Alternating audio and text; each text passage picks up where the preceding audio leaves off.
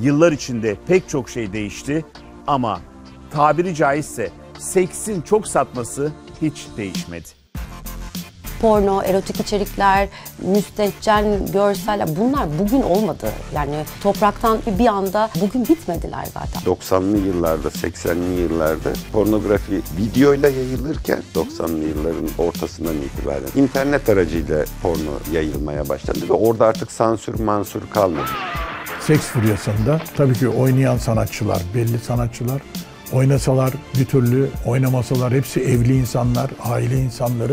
Fakat para yok, çalışmak mecburiyetinde. Mecbur kalanlar oynadılar. Ama mecbur kalmayanlar direttiler. Türkiye'de her şeyde olduğu gibi sorun şu, yetişkin insanlar ne yapabilirler, ne yapamazlar buna bir otorite kendisi karar vermek istiyor her dönemde. Yani seks her zaman var ve var olacak. Pornografi de dolayısıyla seksin bir imitasyonu olarak her zaman vardı ve var olacak. Yani bence iki yüzlülük. Öyle diyenler oluyorum ki işte bu ülkeden git, seni istemiyoruz, nefret ediyoruz. Yani tehditler, hakaretler.